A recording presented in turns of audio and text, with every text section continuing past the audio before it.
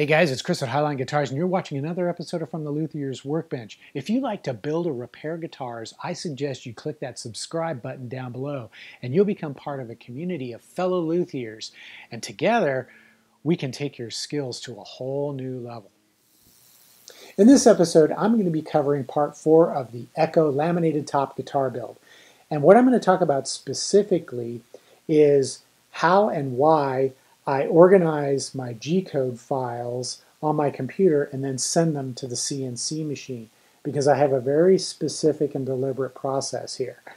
So let me bring you in onto the computer and I'll show you how this all works. Now, when it comes to CNC technology, you really have two different parts. You have the front end and the back end. The front end is where you do all your design work on your computer, where you establish tool paths and write the G code. And then on the back end is the actual process of carving those parts on the CNC machine. Now, I've talked about this approach quite a bit before in the past, but let me show you where it starts.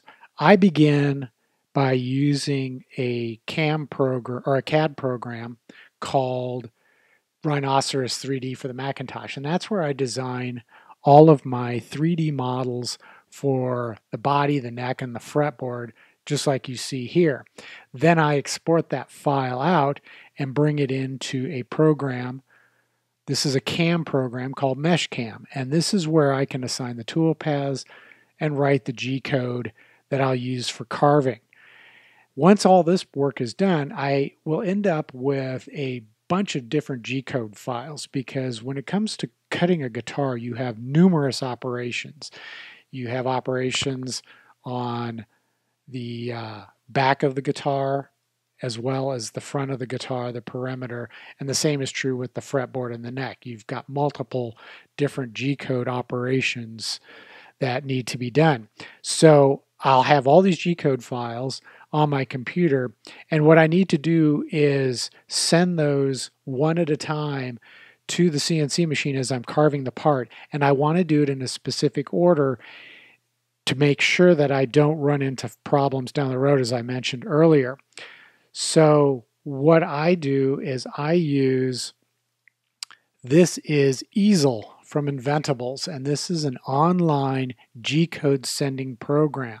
It's also a design program. You can actually design some of your files in Easel that you'll use to cut. And um, I use it for that as well as uh, I can import my G code files that I created in Meshcam into this program.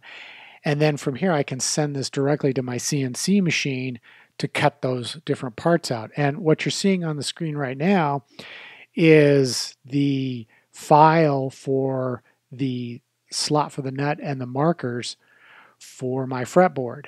And that is the very first file that I'm going to cut on my CNC machine. My process is pretty straightforward and simple in terms of the order that I do things. I always make my fretboard first and I make it all the way to completion. Then I make the neck shaft itself, which includes the back contour and the heel and all that, the headstock.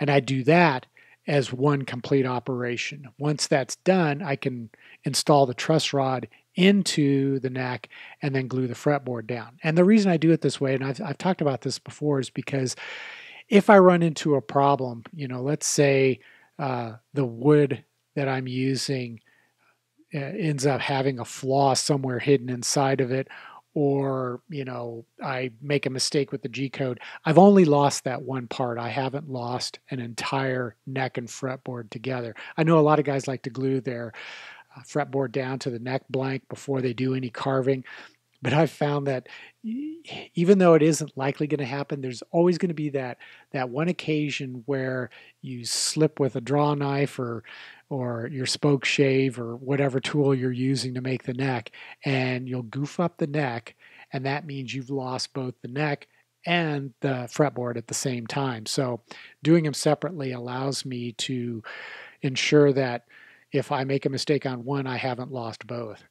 But once I've finished carving the, uh, the, the slot for the nut as well as the marker dots, the next file, and as you, if you look at the bottom of the screen, you'll see all these pages are set up, and these are each different cutting operation. So the second one is to cut the slots for my frets. Now I actually created this file in Adobe Illustrator and saved it as an SVG and then imported it directly into easel and I can use the lines that you see here to um, establish where I need to cut the slots for each of the frets. And the way I do my frets is I like to cut the slots so they stop just short of the edge of the fretboard, about uh, 3 30 seconds of an inch. That way, the sides of the fretboard are nice and smooth, and there's no chance for fret sprout later on when humidity levels change. But then once I have those slots cut into the uh, fretboard blank, I can then proceed with cutting the radius as well as the perimeter shape of the fretboard.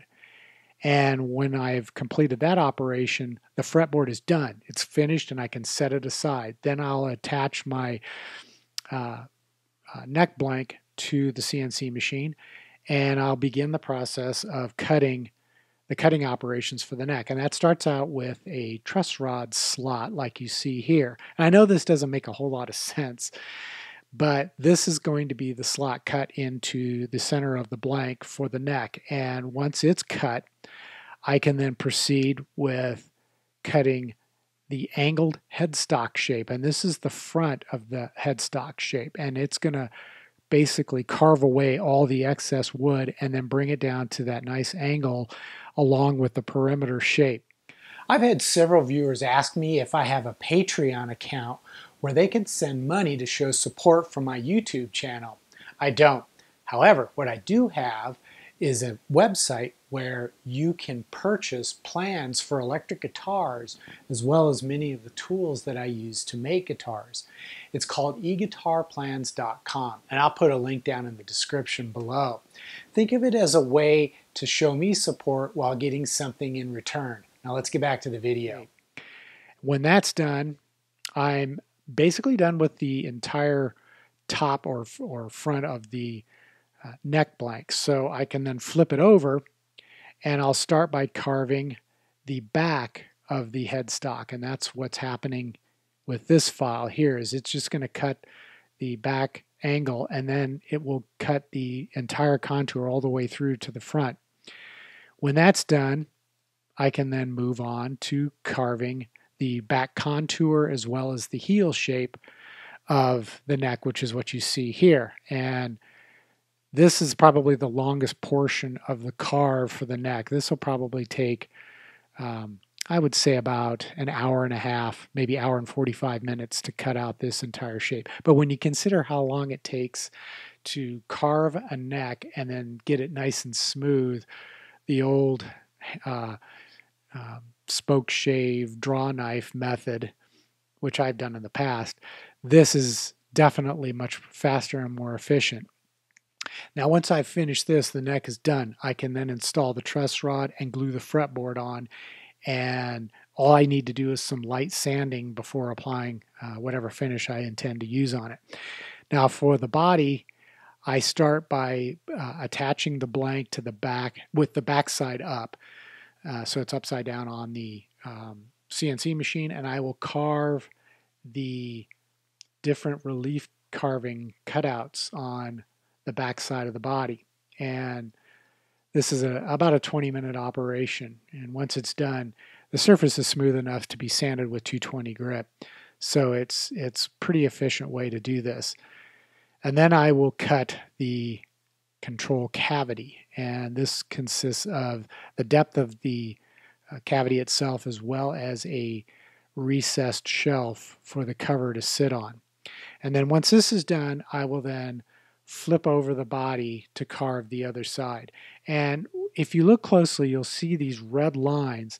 And what those red lines do is they indicate rapid movements of the router. So it starts here, and from here, it moves over and does the carves. Well, in order to register everything I did on the back with everything I'm going to do on the front, I always make sure that my home position is in the exact center of the blank. And I mark the actual exact center of the blank. So that way, every time I need to flip it over, I can move the router right to that point and start from there to cut the uh, operations on that side. And I always know that my uh, each side is going to be registered. So that's how I do that. I, I get questions about that all the time, and I know it seems like it's kind of hard to understand and kind of, and that's one of the problems with uh, talking about CNC technology. The actual processes themselves are not that difficult. They're pretty easy to do, but they're really hard to explain.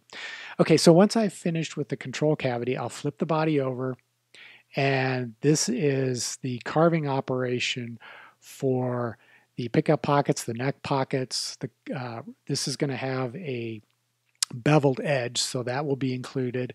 Uh, drilling holes for the controls like the switch and the pots, and then the entire outer perimeter shape. And once that's done, the body can then be removed from the blank and it's ready for just final sanding. Then I can install the neck and proceed with applying finish. And the very last file that I have, and this is one that often gets forgotten, is the control cavity cover, which I have here. And once that's usually usually going to be cut out of a about an eighth of an inch thick piece of uh, whatever hardwood I want to use for this. Probably in this case, I'll use maple. So that's the basic workflow that I use. And um, Easel is a fantastic program for doing this because you can not only design in it, you can also send your G code file to your Arduino based CNC machine. And that's primarily what it works with. And I started using this program when I was using the uh, Inventables X-Carve CNC machine. And I just love the program. I think it works really well and I have no issues with it. So, you know, if you're thinking about getting into CNC, I would definitely recommend you check out the Inventables X Carve. It worked great for me. And I often get uh, questions from folks asking me, why did I switch from the X Carve to my own home built machine?